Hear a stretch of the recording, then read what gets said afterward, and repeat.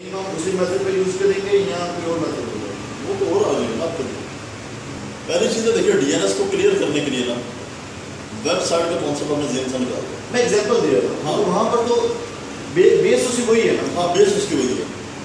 ठीक है Microsoft active directory के अंदर इसकी यूटिलाइजेशन डिफरेंट है। और अगर लाइनेस के यहाँ और जहाँ पब्लिक इंटरनेट आपकी बात करें तो वहाँ पर यूटिलाइजेशन वो डिफरेंट है। मैं इस पॉइंट ऑफ़ व्यू को दोनों को मर्ज करके पॉइंट ऑफ़ व्यू यहाँ पर इंप्लीमेंट करने के पॉइंट को बात करते यहाँ पे जो ऑलरेडी क्योंकि डीएनएस की वर्किंग दो तरह की है। जिस तरह आप बता रहे हैं डीएनएस की वर्किंग दो तरह की किस तरह की? एक तो डीएनएस है जो प्राइवेट डीएनएस कौन से होता है। ठीक है प्राइवेट डीएनएस जो है, उसको बाहर की दुनिया में तो पब्लिक करते नहीं अपने जो हमारे ऑन प्रेमिसेस डीएनएस सर्वर चल रहे हैं। अगर वो सर्वर हैकर के हाथ लग तो बस हम के काम से ठीक है क्योंकि उसके अंदर सारी की सारी वो सर्वर क्या है लिस्ट निकाले। हो ठीक है बट जो पब्लिक डीएनएस सर्वर्स आते हैं पब्लिक डीएनएस मेन जो वर्किंग कॉन्सेप्ट है वो क्या है? वो ओनली फॉर वेबसाइट्स के लिए हम इसको यूज़ करते हैं। ठीक है क्योंकि जो आईएसपी साइट्स हैं ठीक है ISP public DNS server use करती हैं वो प्राइवेट डीएनएस सर्वर यूज़ नहीं करती।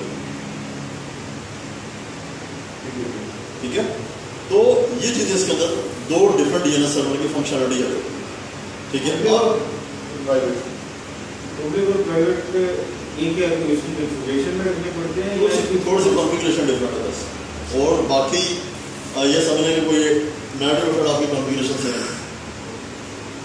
ठीक है? दूसरा क्या हम इसके ऊपर पोस्ट कर रहे हैं किसी क्लाइंट के ऊपर। हाँ। तो उसकी कैसे एक्सेस करने का मेथड होगा? फॉर एग्जांपल मैं किसी एक सिस्टम के ऊपर होस्ट कर लेता हूँ। अब यहाँ पर डीएनएस सर्वर तो ये है। आगे उसने आगे सारा प्रोसीजर वो कैसे स्टेप्स बनेंगे आप कह रहे हैं कि किसी क्लाइंट के क्या करना चाह रहे हैं? वेबसाइट होस्ट कर लेता हूँ। हाँ हाँ। इंटरनेट जैसे प्राइवेट अपनी वेबसाइट ठीक हो। लोकल वेबसाइट हाँ। है सही उसकी एक्सेस का क्या मेथड होगा क्लाइंट्स के लिए जो डीएनएस सर्वर आएँगे या डायरेक्टली नहीं डीएनएस सर्वर है। उसकी कैसे वर्किंग होगी? डीएनएस वर्किंग सेम ऐसे ही है। मतलब वो same like working same as a agency उसके ऊपर हम जैसे वो रूट के ऊपर आएगा देखिए के मैंने जो डायग्राम बनाई हुई थी वहाँ पे कहाँ पे पड़ा था डीएनएस सर्वर यहाँ पे पड़ा था। हाँ जी। डीएनएस सर्वर यही था ना?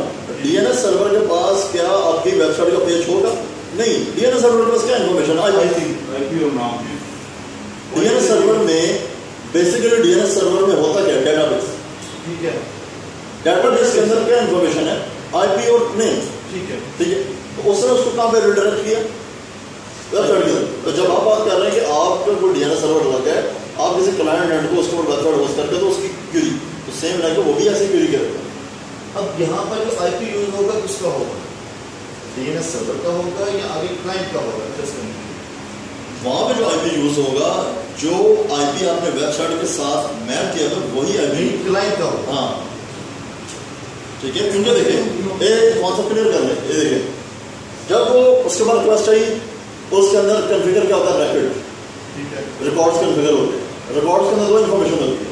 नेम और नेम रिक्वेस्ट कहाँ पे आई इसके पास आईपी है। और उसको रिडायरेक्शन कहाँ पे किया? नेम के पास। मतलब उस मशीन रेफर हाँ। उस मशीन का रेफर करती है। उस मशीन पे क्या पड़ा हुआ था? गूगल का first page H D dot index dot H T का पेज ठीक है तो वो वापस को ले लेता डीएनए से करते हैं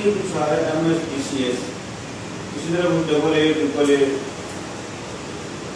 इसी तरह के ट्रिपल में एसओ ए में होता है ये क्या कर रहे हैं ये इसमें में हो ये अच्छा पहले कुछ चीज़ें क्लियर करते हैं ठीक है? कि डीएनएस के अंदर टाइप्स को कौन से होते हैं? ठीक है? टाइप्स में फ़र्स्ट है इसकी प्राइमरी देन उसके बाद है सेकेंडरी देन उसके बाद है स्टॉक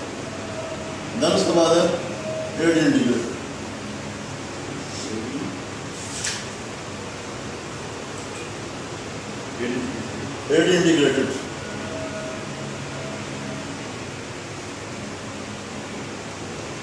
डीएनए की टाइप जी डीएनएस के दिखाता इंटीग्रेटेड जी एड इंटीग्रेटेड